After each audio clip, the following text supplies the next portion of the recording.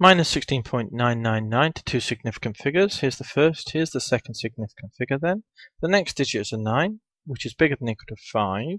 So we round the 6 up to 7, don't we? And it's minus 17. And that was to two significant figures.